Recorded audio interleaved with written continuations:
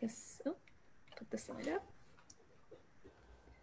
All right, we are streaming on Facebook, it looks like. Awesome.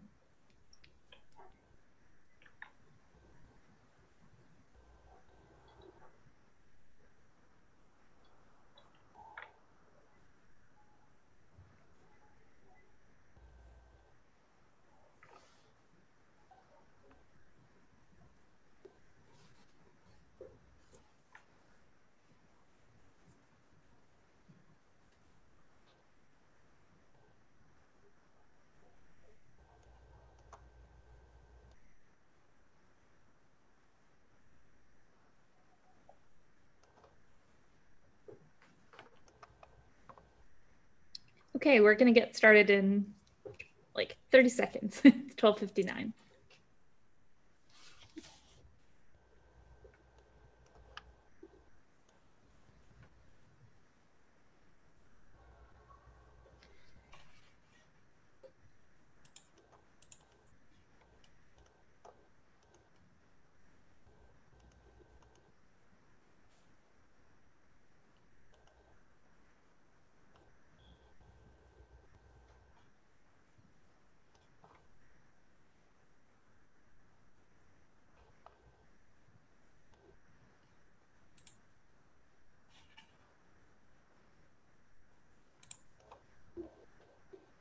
Okay, so I think we're we'll get started. Oh, we've got a couple of guests wanting to join. Okay, all right. So I think we're going to get started. Hey, everybody. Thank you for joining us for our Beaty at Home. Uh, today, we're going to be talking about big bugs, and Vincent's going to be telling us all about them. Um, so just a little bit of an introduction to all the voices you're going to hear and the faces you're going to see. So uh, Vincent uh, is a museum interpreter and he will be presenting today. Uh, my name is Kashfa. I will be facilitating and answering uh, your questions in the chat. So when whenever you have a question, uh, feel free to put it uh, in the Zoom chat box. Um, before we uh, before we go on to talk about insects, I wanted to just uh, give a bit of an introduction to the Beaty Biodiversity Museum um, and do a land acknowledgement. Um, so the Beaty Museum is on the traditional unceded, unceded and ancestral territory of the Musqueam. Um, and uh, what you see in front of you is the flag of the Musqueam people. Um, wherever you live in BC or around the world, you can, or uh, across North America, you can figure out what Indigenous territory you're on. Um, we are also here on a map. So the Beaty Museum is uh, at the University of British Columbia, and we've got a bunch of other museums and places to visit next to us. We're next to the Pacific Museum of Earth. We have the Museum of Anthropology, um, the Botanical Garden, lots of really wonderful places to visit. Um, and the museum is open as well. We're, we're open from Tuesday to Sunday, uh, 10 to 5. This is what the museum looks like uh, on Main Mall. Um, right now, we're not quite this busy, uh, but you can see back there, we have our biggest specimen. We have the blue whale specimen. I'll briefly talk about it in just a second. There it is. so this is uh, the largest specimen that we have in the museum, uh, the big blue whale. Uh, but this is just one of over 2.1 million specimens that we have in the museum. So we have lots of really cool things to see. Um, right next to the museum is actually the Biodiversity Research Center. So the museum uh, and the research center are part of the Beaty Biodiversity Center, and uh, there are all kinds of scientists studying biodiversity here. So uh, some of the organisms they study are, are, seen on this poster. So somebody studying seahorses, somebody studying sunflowers, uh, algae, and so on. And this is what the museum looks like on the inside. So we have lots of cool specimens. This is actually right in the middle of the fish collection. And this is showing you the six different collections that we have in the museum. Um, so you can see from the top left, we've got this brown circle with a feather. This is uh, the Cowan tetrapod collection, uh, which has birds, mammals, reptiles, and amphibians. Um, and there's a skeleton of a platypus, which is a mammal. It's a very strange mammal. Um, we have the marine invertebrates, uh, which is represented by these beautiful abalone shells. The herbarium, which has fungi, uh, sorry, which has plants and related things. So fungi, for example, are in here as well as lichens. uh, the entomology collection, uh, fish and fossils. Uh, and today, Vincent's going to be telling you about insects which would be found in the entomology collection right here. So with that, I'm going to pass it on to Vincent. Um, so... uh, thank you, Kashfa.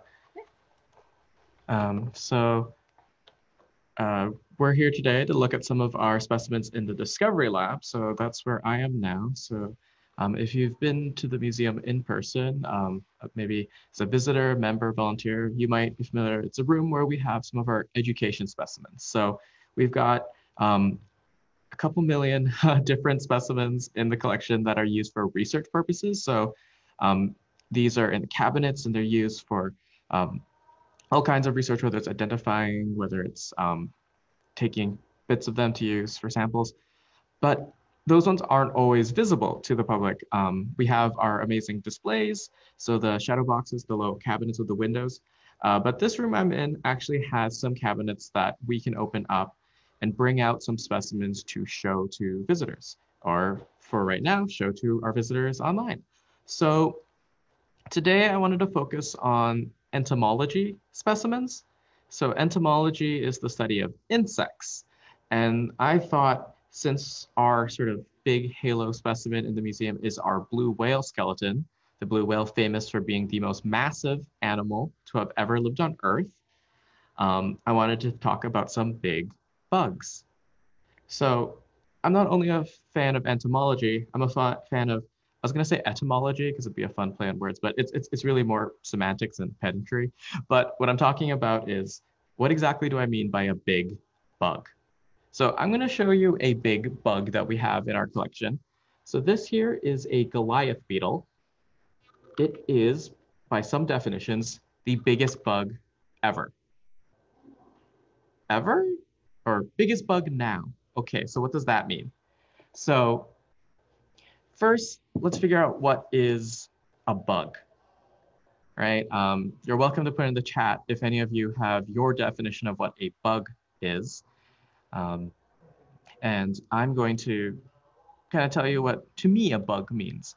Uh, to me, a bug is common word for a small creeping creature, right? Um, now, scientifically, a bug is actually a group within the insects. So insects are, um, yeah, so there's a taxonomic version of bug, but also just, yeah, it's a general word used to describe anything small. I've seen uh, books about bugs that include everything from insects to spiders to worms to snails. Um, and some of these are very different from each other. Um, so let's break it down. So let's use the scientific words. Uh, I've said the word insect a few times. So insects are animals. They've got six legs. They've got three body parts. And well, they belong to a group called the arthropods. Now, the arthropods are all of those jointed armored animals, including uh, crabs, spiders, things like that. But insects have six legs. That's six, right? Yeah, six legs. Um, so right now I want to focus on some of our biggest insects. So I'm going to show you, I showed you the Goliath beetle. I'm going to move the camera to show you some of our other really big insects we have here. So, ooh, sorry, make everyone dizzy for a second there. But if you see this, this is an atlas moth. Got a bit of reflection there. The atlas moth is, by some definitions, one of the largest insects ever. We move on over here, we have a kind of bird wing butterfly. Now this butterfly is not considered the largest, but there is a kind of birdwing butterfly considered the largest insect ever. So how is it that this, this, and this could be considered the largest insect ever? In fact, I have a few other candidates for largest insect ever. I'm just gonna share my screen here. Vincent, while you're doing that, I'll just yes. uh, share some of the answers. I think you've seen them. Nicole just said that uh, she thinks of the taxonomic version of bug first yes. well, but also small crawlies. And Nancy says the same thing, and even with her background. She thinks of the common usage. Mhm. also, her cat knows the word bug, which is very impressive. Interesting.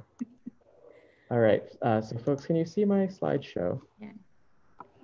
I also just wanted to um, uh, suggest something to the participants that when Vincent is showing his uh, the camera, you can uh, use the option of pinning um, Yes. his video, uh, and that's an option in the, in the top left corner, so you'll see it.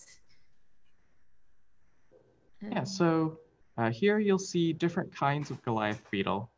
So I do want to clarify, when I say Goliath beetle, there's actually multiple species. And the species we have in our Discovery Lab um, may not actually be the biggest of them. Now, one thing to note, when I say the Goliath beetle is the largest insect, which part of big am I talking about? So remember when I said the blue whale is the most massive animal to have ever lived? It is not the biggest in every dimension. So what do I mean by that? Can anyone think of something, another animal that could arguably be considered bigger than the blue whale? Give you a hint. One of them actually lives around here as well, and they're squishy and have no bones. uh, Nicole has suggested Patagotitan, the dinosaur. Ah, yes. So there is an ancient dinosaur who, from certain estimates, is longer from head to tail. Another one that I like to think of is, well, the lion's mane jellyfish. Its tentacles, um, the longest one ever was longer than the blue whale. The blue whale's about, are the blue whale skeleton we have is about 25 meters long. The whale was 25 meters. And I think the longest blue whale ever measured was around 30, 33 meters long. There have been uh, lion's mane jellyfish estimated tentacle to tentacle over possibly 40, 50 meters long. So that animal is much less massive than a 80 to 100 ton whale, but it is longer. So in a similar vein as the blue whale being the most massive animal, our Goliath beetle takes the cake for being the most massive insect on Earth. Now, a few uh, qualifiers on that. On Earth now, there were larger insects in the past, and it actually isn't the largest in terms of mass in this stage of its life. So, an adult beetle, which is the stage most people are familiar with, um, is often actually less massive than their baby form, their larva or grub. So, I'm going to show you a Hercules beetle. It is another very large insect. It actually gets longer. Um, they can be about 17 centimeters in length as an adult. Um, but that thing in this person's hand there is a grub, a baby insect. So this insect is much more massive when it is a larva. Um, so the Goliath beetle larva weighs about 100 grams, so it's like an apple. Um, the Hercules beetle larva is not far behind that. The adult is maybe three quarters to half that mass. So in the case of beetles, they do all their gorging and eating as larvae. They turn into their pupa, which is the sort of middle stage uh, where they don't move, and then they emerge as adults. Uh, they might eat as an adult, but they actually don't get as massive as the baby. So big babies. Uh, the, the most massive insect on Earth is most massive as a baby. Now, Hey, Vince, hey, Vincent, Mhm. can I uh, just share a comment and ask a question? of course, There's a, a comment from uh, from Arnold saying, "I love the video of the growth development of that Hercules beetle." yes. So that's a popular one. Um, and there's a question from Facebook. Um, for the image that you showed before, what is the scale of the the beetles in that case? Ah, I yes. think that's the question. Yes. Uh, so to give you an idea, um, the one on the uh, bottom right of the screen is about the same. This the not the bottommost right, but the one next to it, the male, the larger one. Uh, so in the Goliath beetle, the male is larger, uh, and they have the sort of prong horns, while the female just has a sort of shovel face. Um, this one here is about the same size. So you can see it's not super big. Um, I mean, it's really big for a beetle. Um, da, da. But yeah, so it's the larval form that's actually the most massive. Awesome. Thanks for thanks for that. So, of course, the question then becomes, what's the heaviest adult insect? So here is an image of the uh, Little Barrier giant weta. Uh, it is uh, clocked in at 71 grams, uh, which notably is less massive than the 100 gram Goliath beetle larva, but it is more massive than a 50 gram adult Goliath beetle. So it's the heaviest adult insect. Uh, so again, when it comes to playing the game of biggest insect, a lot of it comes down to um, how you define big. Um, wetas are uh, famous for being big monsters. Uh, the special effects company that did all the monsters in Lord of the Rings are called Weta because, uh, well, they're New Zealand and they get these giant monster insects. Um, so some of the other large insects I was showing you, so I'm going to move my camera again. We had the atlas moth, and we had the birdwing butterfly. So birdwing butterflies and atlas moths have the largest surface area of wings of any insect. Uh, so give you an idea of scale, this is my hand here, and that is the atlas moth. So the actual mass of the insect is quite small because if you can see the body in the center there, it's pretty small, but the wings take up a huge amount of space in terms of area. Um, likewise with the birdwing butterfly. There is actually a butterfly called the white witch, which has much thinner wings and has much less area, but actually has a longer wingspan. So again, there are many sort of contestants for largest insect. Now, again, I want to clarify, these are the largest insects on Earth now. So when I say on Earth now, what else am I referring to? Well, I'm going to show you a um, picture of some um, of an insect that's big in a very different way. Uh, let me just get it here. um, and yeah, and if anyone has questions or something they want to see, please let Kashfa and myself know. Uh, so Vincent Nicole was asking where it Weta is found in the wild. I think did you New Zealand? Did you? New say? Zealand, and I believe there are parts of Southeast Asia as well. Cool. Is it? Do you know if it's a type of cricket? Uh, it is a grasshopper. I'm not sure if it's considered a cricket, but it is related to them. Cool. Um, so here is a life-size uh, cutout of an ancient insect. Uh, this is um, sometimes called griffin flies because they aren't exactly the same as modern dragonflies, but they are related to them. I guess they were going with the theme with flying mythical beasts. Um, and this group, the griffin flies or the Meganeura, if you're going to use the uh, scientific name, uh, were the largest in terms of mass and wingspan of any insect ever. So can you imagine these? Now this is of course millions of years ago when we had a much different atmosphere. Um, I was actually curious on what happened to them and it seems one of the leading hypotheses is that when Earth's atmosphere changed to have less oxygen, well, um, insects, they get their gas exchange not through lungs, things like that, but they actually just have holes in their body to bring in the oxygen. And the bigger you are, uh, the less efficient you are at that. And so it seems with a slightly less oxygen rich um, atmosphere, these really big insects couldn't survive. Another leading um, hypothesis is, well, birds and other um, uh, predators showed up and outcompeted them for the space of relatively big aerial predator. Um, but yeah, this is a cutout of a Meganeura, um, aka the griffin fly. And so there's a really good question on the opposite end of the spectrum. What is the smallest insect? Oh, I, I'm wondering if you have a guess, because I um, have you put, have you looked it up already? I have. Okay, good. Because I was gonna say I I want you to look it up because I don't actually know. Um, Uh, so the smallest insect, uh, according to the internet, is is one called a fairy fly, um, and it is a type of wasp. Oh, I was gonna guess a mite or something. But, Yeah, that's a. So mites would not be technically considered insects, Right. Because they don't have Mm. six legs. There you go. Um, but I do have a photo pulled up, and I will very quickly just share my screen. um, so everybody can see, and then I will. Please do. Yes. sharing. Yes. Um, so so this is it. This is the um, smallest insect according to Huh. the internet. Fairy wasp. Very small and kind of cute. So there we go. Thanks but for it your might be a question. parasite. I yes, that tends to be the case of the small smaller uh, insects.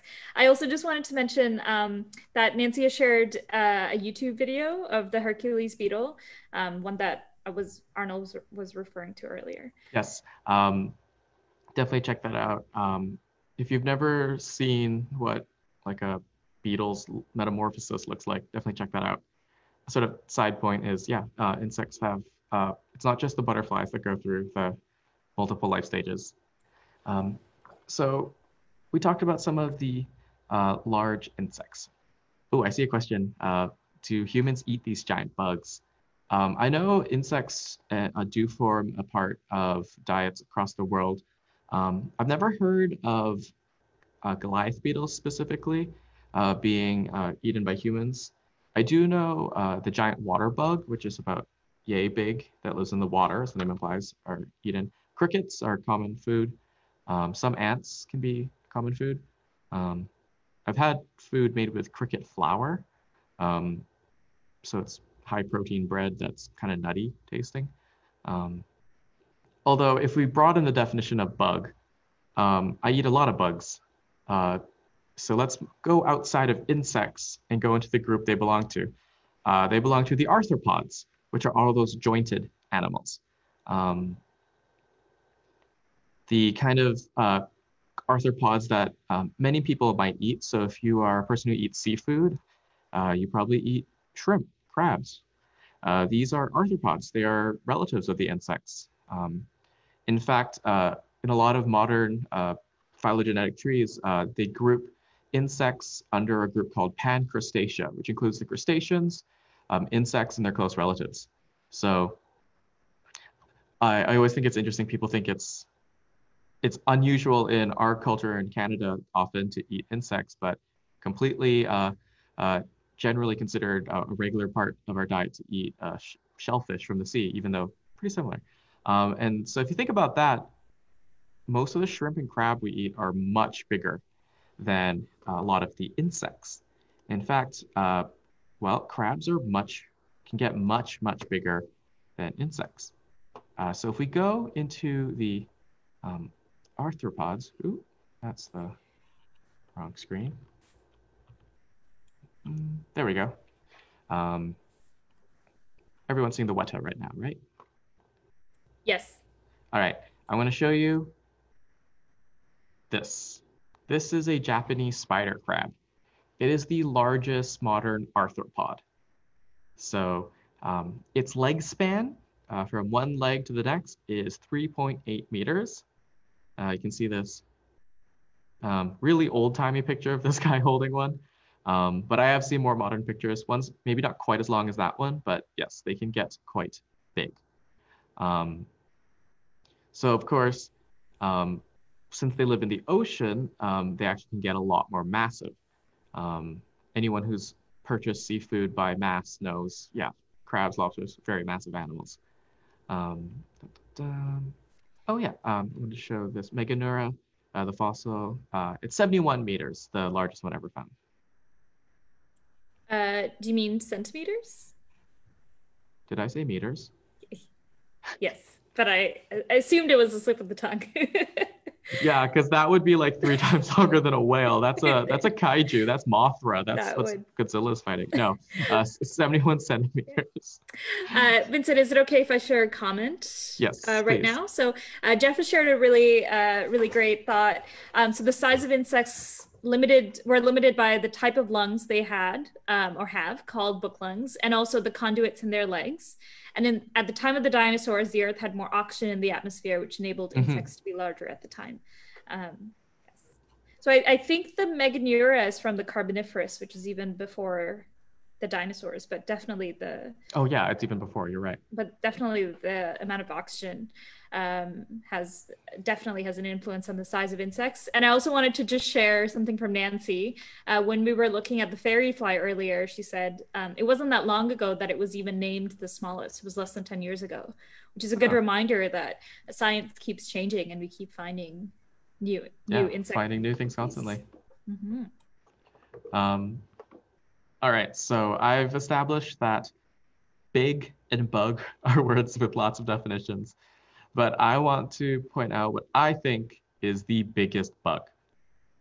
So let's look at arthropods, all right? Let's, let's narrow it down to arthropods, and we're gonna go by most massive and longest, if we will. Um, so if we go back uh, to an ancient group called the Euryptids, um, they actually lived, um, some of them on land actually, um, and this is the largest arthropod ever. So if you look at that, um, you can see they're pretty big. Uh, the longest one was more than two meters long. Uh, I'll show you a fossil of one here. Uh, so these curious uh, arthropods um, were the largest arthropod ever. So um, their length is over two meters and their mass would have been probably a couple kilograms. Uh, so these are the biggest bugs from a certain uh, point of view, if you will. Um, now, of course, um, if we broaden the definition of bug to include all creepy crawlies, then, well, I guess maybe the colossal squid? um, if, so, oh wait, I just said that there's that jellyfish that's 50 meters. So yeah, again, but let's stick to arthropods, the Euryptids. And of course, of the modern living insects, we have the massive Goliath beetle larvae. And if we're looking at arthropods in general, there's that really long-legged Japanese spider crab. Um, so I wanted to spend the next bit of time just sort of pointing out some cool specimens we have in our collections if there's anything yeah. people wanted to see or other questions. Vincent, is it okay if we uh, take a minute to maybe just answer Yes, of course, please. Few things. So Nicole asked, uh, and I'm wondering if you know this, where was Meganeura found? Oh, um, Meganeura was found. Uh, sure. I I just did a quick Google search and the first one was the first one was found in France. France, okay. Yeah. Um, and I just wanted to add something to a comment earlier when we were talking about uh, insects uh, uh, breathing. So um, we used book lungs, um, and that's what spiders have, but insects have tracheae and spiracles. Um, so right, spir- spiracles are the little holes on their body. Yeah. Mm-hmm. So different uh, uh, breathing mechanism. Um, and then I think you were the image that you just showed after Euryptids. I think you were showing. Um, so Ginger is asking, where do slash did they live? Location. Um, again, I think they were found in a few places. I'm not sure actually where this one was. Um, I apologize. Um, I was mostly fascinated with their size. I forgot to write down um, where the fossils were found. Um, let's see.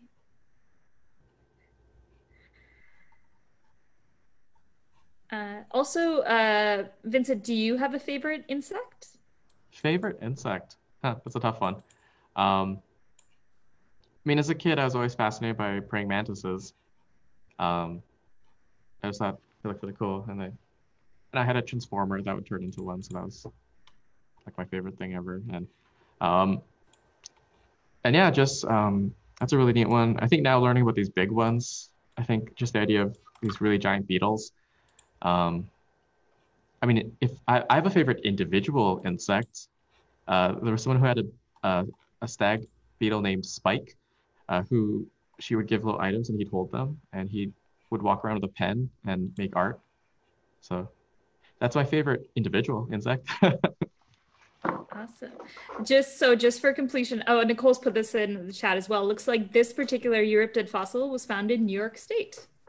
Oh, it's I, very cool. I think the one thing that fascinates me is how all the plates, the tectonic plates, were in such different places, and the atmosphere was so different that it's it's kind of weird to think just all these places where we find fossils and how they just didn't look anything like the modern places. Very true. Uh, okay, so does anyone have requests or things they'd? Oh, there's a question from uh, five-year-old Richard. Does this bug live in water or on land, and does it swim well?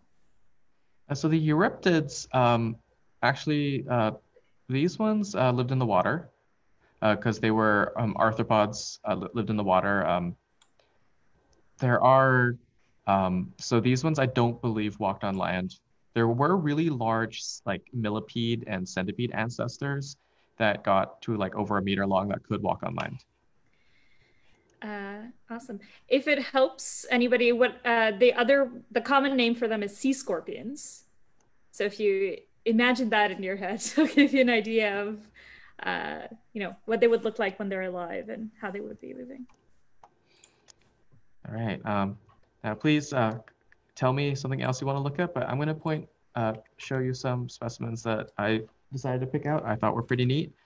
Um, one really cool thing that was uh, brought to us was, you can a sneak it there, that very large beetle. Um, I'm not going to be able to hear you for a second as I take my headphones off to go get it.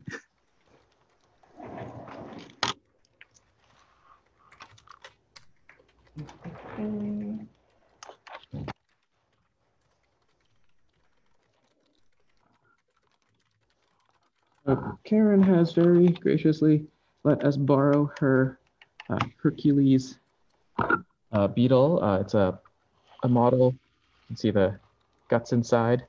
Um, uh, this one I think might be a little bit larger than the get, although actually, because I know they get to 17 centimeters, so actually, yeah, maybe actually is about right size. Um, so yeah, um, and actually we're talking about other inner bits. Um, I'm gonna be honest, I'm not super familiar with anatomy, so, um, but this is a really good look um, of just, you know, a really big Hercules beetle. Um, also wanted to show, um, we were talking about the non-insects. So we have here uh, one of our most uh, popular slash unpopular specimens in the Discovery Lab. Uh, let's see. Oh, that reflection is bright. there we go. Um, we have a tarantula.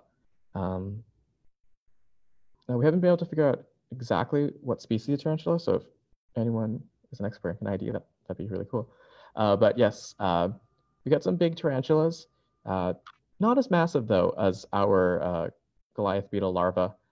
Um, so you'll note uh, tarantulas and spiders, not insects. they have eight legs, uh, two body parts.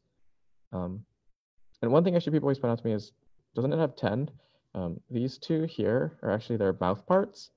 Um, and they just kind of kind of look like legs, but they attach differently. Another cool specimen we have is a horseshoe crab. So the horseshoe crab, uh, despite being called a crab, is actually not as closely related to the crabs, but is actually in its own group. Um, but if you go higher up, it belongs to the chelicerates. So actually the arachnids, like our spiders and scorpions, are actually more closely related to our horseshoe crab than the horseshoe crab is to the crab crabs. Um, and people often call the horseshoe crab a living fossil because it actually uh, resembles and is related to uh, several of those ancient giant arthropods, but it's the only one of its group left.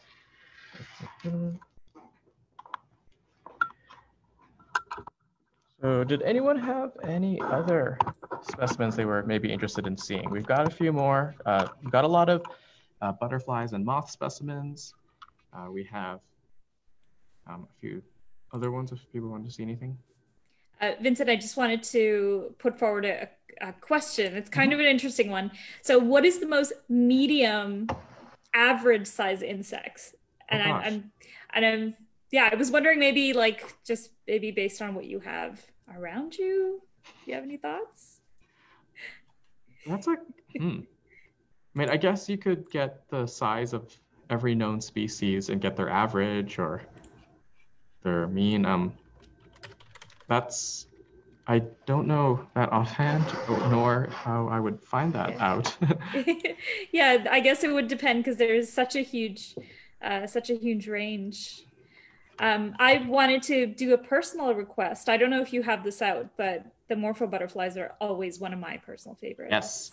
Um, why don't I go grab some of those? Um, I think those are that is an excellent idea for one through show. Yeah, let me just move some things around so I have some room. I'll be back in five seconds.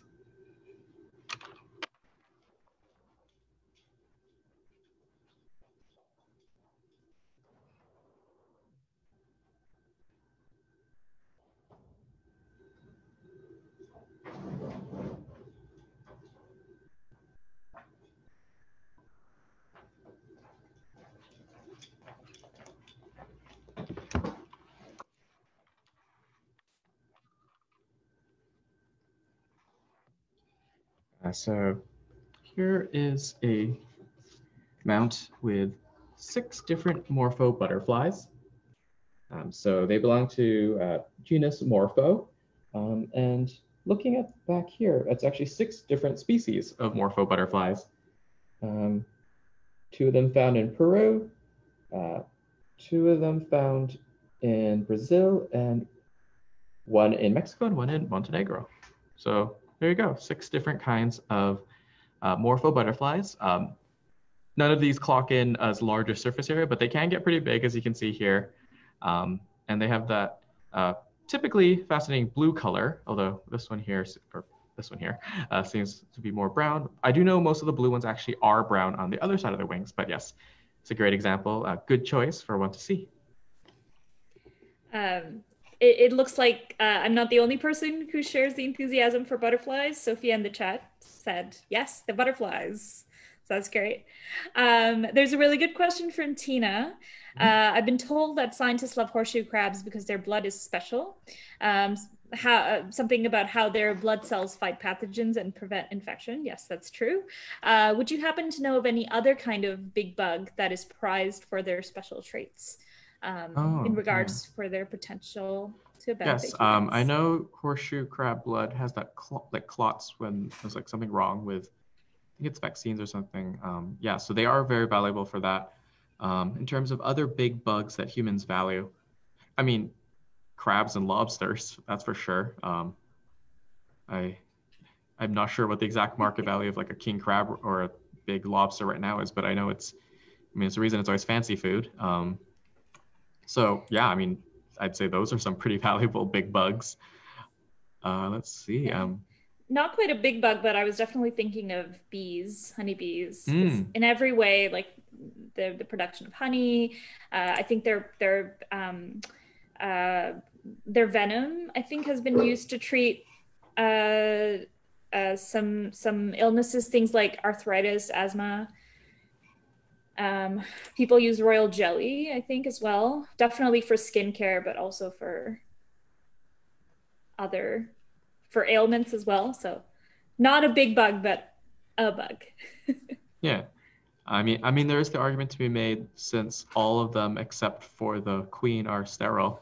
They're really more extensions of the queen, so the whole hive is one big bug. Oh, that's a really good point. That's a good I mean, point. It's a colony, it's not an individual, but again, that is another very valuable.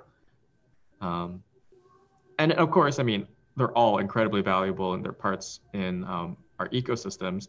Um, so, I mean, some of the bugs we don't think about, so like the worms beneath our feet, um, a lot of beetles that uh, consume uh, detritus and uh, eat dead things are very valuable for recycling nutrients. Um, yeah, so like, I mean, here at the museum, um, we have the dermestid beetles. Uh, they're just small little black beetles. They uh, they eat uh, decaying flesh. So uh, here we use them to clean uh, bones and skeletons. So any birds or mammals, things you see, the bones, uh, some dermestid beetle would help clean that up. So that's a useful uh, trait. Uh, Richard is uh, is is saying Ant Man, just referring to Ant Man, the superhero. Yeah, yeah. I mean, yeah, I mean, I guess if you're Ant Man, ants are pretty valuable. They help you fight crime and supervillains, right? um, yeah, I think it is really interesting that as humans, we we sometimes see insects as pests. For example, a lot of Mhm. people, you know, um, focus on that, but um, they also provide us lots of benefits. And even if they don't, they're just really cool. yeah. Um, there's just a lot of insects. Uh, do you see the next question, Vincent? Uh, what's let's see. So, Roughly, roughly what percentage of insects uh, are venomous? oh, Maybe we could hear a little bit about toxic versus oh, yeah. venomous. Um, I mean, so I'm sure uh, if you're tuning in to Beaty at Home, you've probably heard something about the difference between poison and venom. Uh, so uh, venom essentially enters your bloodstream to cause damage. So often it's applied by sting or bite.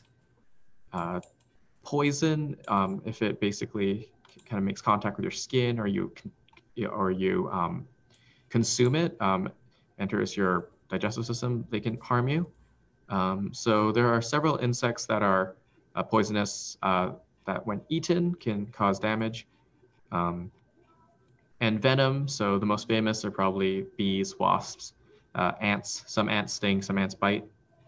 Um, most of the venomous insects are within uh, the Hymenoptera, so that's the order that bees, wasps, and ants belong to. In fact, I think most of the venomous insects are in there. I know there's like assassin bugs, things that can bite, but as far as I want to say most of them are hymenopterans. I'm sure there are plenty examples outside of that. Um, because I know the largest group in terms of uh, number of species are the beetles, and they're not really known for being venomous. Uh, some are poisonous to eat. Um, some might have noxious like chemicals they release to uh, detract um, to scare away predators, but not really known for being venomous. Uh, that's a that's a good point. Um, so, and just to put it into perspective, like uh, Hymenoptera, bees, wasps, ants are uh, they're about half as many as beetles. Still a lot. Um, so, um, also, it, it seems like so. This is uh, uh, about of about 1.2 million described species, only about 100 species bite or sting. oh, So that's that's interesting. it's a lot less than I thought it would be. Yeah. Um, so this is from uh, from one of our experts. Uh, Nancy's sharing caterpillar spines can be considered venomous if they pierce. Ah, yes. Um, plenty venomous spines. Um, There's a really great question from from Tina. Uh, a lot of bugs are structurally blue, as in they don't actually have blue pigment and rely on microscopic structures to appear blue. But are there any cool bugs that actually have blue pigment in them? I mean, so yeah, uh, the morphos, uh, it's basically the way they reflect light. Um, we've had a few training sessions about this, and my brain still has a really hard time wrapping around the physics of it. Yeah. But I do know it's the way they reflect, and if you actually look under it in the with like a black light or something, it won't show up with any blue. Um, so yeah, structural color, like with bird feathers. Um, I don't know if there's I mean, there are beetles and things that have blue on them, but I don't know if that's also just reflective or not. Blue is a really uh, difficult color to produce in nature and, and generally across uh, the animal kingdom and even even within plants. It's Yeah. a really rare Mhm. color. Um, so I I don't I also can't think of any off the top of my head that uh, would have. There's one suggestion just within the comment. I guess a type Mhm. of hmm. I there might be like an odd beetle or something that might have it, but blue is a very difficult color to produce. it's Yeah, almost it's um, almost always structural. That's my understanding as well. And again, uh, one of the rules in biology is there's always exceptions. very very true.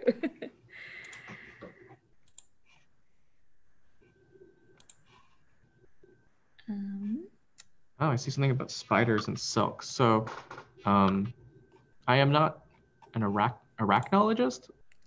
Is that aeronologist? Uh, but uh, spiders, they have spinnerets, which are um, on the rear, on the back of their abdomen, they have um, little little little section that uh, creates uh, that shoots out doesn't shoot out it emits the silk um, so yeah inside the body of the organ that sort of synthesizes the silk um, it comes out from there um, a few things to note um, not all spiders make the sort of classic webs that we think of uh, so like the classic like halloween webs uh, uh, the orb weavers are a group of spiders uh, who specifically make that kind of pattern uh, there are other kind of spiders that make sort of more just clumpy, uh, what we call cobwebs.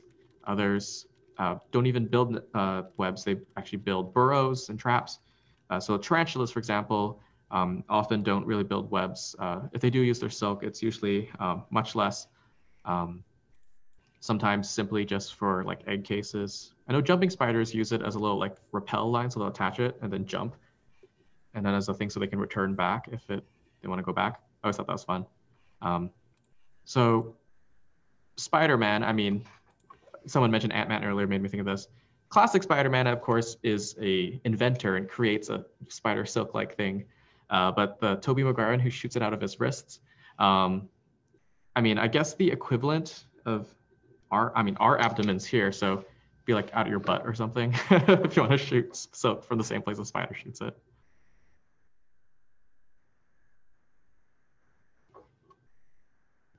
So I just wanted to comment on a previous uh, question. So just about the blue pigment. Um, so Tina had mentioned Nessaea, which is uh, it's a genus of blue morphos, and they do produce blue pigment. There's also one butterfly. It's called the olive wing, uh, and uh, it is one of the very few insect species on Earth that produces a blue pigment. So, w- what you said earlier, Vincent, is completely true. There's always an exception. Right. That's the only thing I'm ever confident when I'm talking about biology is I'm sure there's an exception. there you go. Uh, there's a good question in, uh, about ladybugs. Uh, yes. Do they only, um, I guess, do they only flap their inner wings or do their inner wings only flap when they're flying? Ah, so yeah. Uh, so ladybugs are a kind of beetle. There are hundreds of thousands of kinds of beetles. The ladybug is one of the more famous uh, groups of those. Uh, but like most beetles, they can fly. Um, and so insects with wings typically have four. Uh, so on a beetle, there are the um, elytra, which are the front set of wings, which have adapted to become this hard armored part. And then behind them, they have their flying wings. So when they are not flying, they will close the elytra down, and these wings will actually fold up underneath. Um, and in fact, uh, there's a very complicated process in which they will pull them and fold them underneath. But yes, when they're flying, it's just the flying wings and the elytra kind of just stick up and out of the way. So as you can imagine, uh, this wing setup is not quite as agile as say um, a fly or a bee, which of course have much more agile wing setups, but um, of, of course, the adaptation for beetles is uh, trade um, the extreme speed for and maneuverability for, well, armor when you're not flying. So yes, uh, that was my really long way of saying yes, it's the under wings that flap, not the top ones. Perfect. Uh, there's another question about ladybugs, and actually, Vincent, just behind you is a ladybug poster. It's like perfectly above your head oh, on the nice. wall. uh, Ginger has a question Why do ladybugs have a red color with black dots? Oh, um, now that specific pattern, I don't know. I know that a bright red color um, is often a warning. Um, so there are warning colors. So oftentimes toxic um, animals will advertise themselves. Basically, I'm not hiding because I'm letting you know, don't eat me. It will it will not be good for you. Uh, and so many ladybugs are uh, poisonous, um, and they can actually emit foul odors uh, if disturbed. Uh, so if you ever poke at a ladybug, don't do that. But if you were to um, and you smell something nasty, it probably the ladybug. So I'd imagine the red color probably um, is a big part of that sort of warning coloration to their predators. Yeah. Is it is it okay if I jump in? That's a so that's very true. So the red color. Um, I just wanted to share my screen for a second and show everybody uh, a page on our um, uh, on the museum's website. So as, in the museum we do uh, mm, yes. we do we have specimens for research and databasing so this is the page of our uh, spencer entomological collection and a lot of our specimens are are, are photographed and database. So I'll just go back. So you can see these are these are just all beetles. Um, but we have other types of insects represented as well, so cockroaches, earwigs, and so on. Um, and within beetles, I've actually, I'm gonna open the group that has ladybugs, uh, which is this one, Coccinellidae. And I'll just scroll down so you can see the variety of ladybugs, okay? So we've got this one that's kind of orangey with two spots. We've got uh, we've got a black one with orange spots. Got one no with spots. no spots. We got one with the spots look kind of like lines. Um, the the spots have a lighter color ring around them. I'll just slowly keep scrolling down so you can see. And this is a resource that you can explore by yourself as well. I'll put the link uh, in the chat box. Um, so uh, you can see that the image that we have of ladybugs is, is you know, uh, is the one that Vincent has on the wall behind him. Uh, but not all ladybugs, you know, there's there's a variety. So anytime we see something that looks like this outside, we'll say, oh, that's a ladybug, but actually might be uh, quite different. So uh, I just wanted to share this because this is a really cool resource. And if you need, if you want to look at um, uh, really HD photos of, of insects, you're welcome to uh, check out our database. So stop sharing. Yeah, um, it's a good point with the ladybugs. Um, yeah, they come in all. I, I remember there was one story I'd often hear as a child that um, that ladybugs would get more dots as they aged, that is not true. Uh, different species have a set number of dots, and um, the dots you see are just that species. And if you see one with more dots, it's a different species. Um, Vincent, there's a few uh, more questions mm-hmm. uh, and just things that people have shared. Um, so Tina shared uh, a video, a National Geographic video about uh, on how ladybugs fold their wings which is great. Yes, I was I was looking for that earlier, um, but someone awesome. found it for me. Excellent. Awesome. Um, uh, Arnold is saying, in general, is being a bigger size more advantageous for insects? Mm. Well, I mean, relative to life on Earth, it's hard to say if insects are big or small because to us they seem small, but to a lot of other organisms, like microscopic organisms, they're pretty big. But I mean, there's always advantages and disadvantages to any adaptation. And I'd say insects seem to have carved out a niche, a really big niche around the world, where pretty small seems to be where most of them are. There are, of course, the outliers like our Hercules beetle, Goliath beetle, Atlas moth. But yeah, um, for arthropods, I know size is more limited than for uh, like vertebrates. One of the big things is as you get bigger and bigger, uh, the heavy armored body uh, becomes so heavy it can't support its own mass, while um, a, a, vertebrate uh, with bones, uh, the, just the physics, the biomechanics. Um, and again, also where you're found. So if you're in the ocean, uh, gravity affects you less because there's buoyancy in the water. So that's why lobsters get more massive than uh, insects on land, why the blue whale is so much more massive than mammals on land. Um, so I'd say being bigger is not necessarily better um, in and of itself. That's a good point. Uh, there's a question from Damien. Are worms bugs? Yeah. So uh, they are not arthropods. So arthropods are the jointed invertebrates. Uh, so by jointed, I mean they've got like that armor that has like joints like a suit of armor, right? Uh, worms uh, don't have that. Uh, now, there are many kinds of worms. In fact, uh, of the 20 or so different phyla of animals, so phyla is the sort of biggest grouping within animals. Um, within the of the 20 or so phyla, half of them are called something worms. The the the flat worms, the round worms, the uh, peanut worms, the uh, I think like, and then there's the segmented worms. Uh, so earthworms, for example, belong to that. Many marine worms are segmented worms. And they do have sections like an arthropod, uh, but they don't have the armor around them.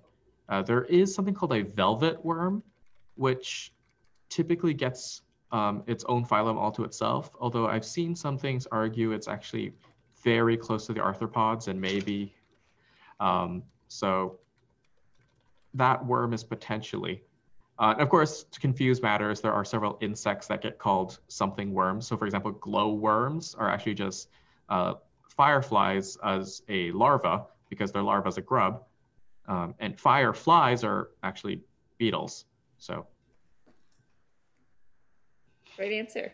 Um, there's a question that uh, was asked earlier, but I'll ask it again in case you mm-hmm. change your mind. What's your favorite insect and why?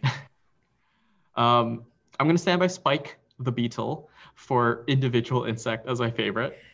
Um, as for just kind of insect, I, I'm going to take back praying mantis because praying mantis has the very uh, sort of simple metamorphosis where the baby mantis looks like the adult. I'm always a fan of insects that look drastically different throughout their stages. So of course, uh, butterflies in their caterpillar stages often get a lot of the uh, of the fame. Uh, but yeah, I just wanted to show.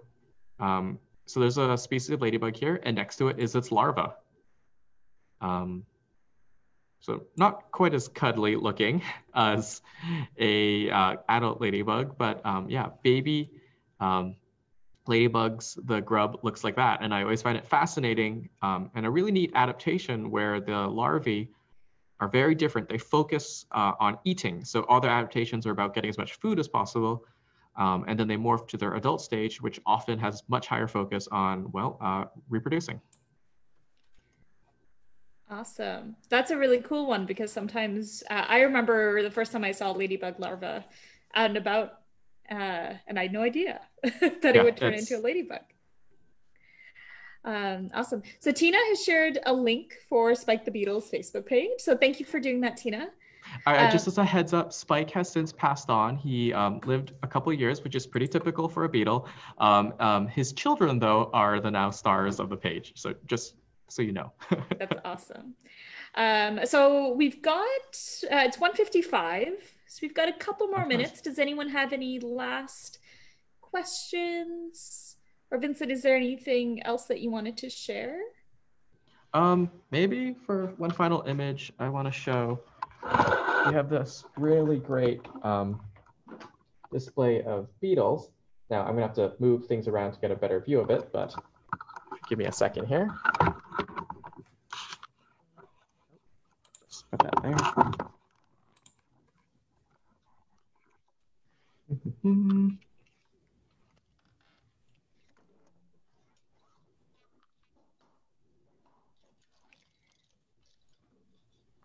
If anyone has any last questions, uh, please feel free to put them in the chat. Um,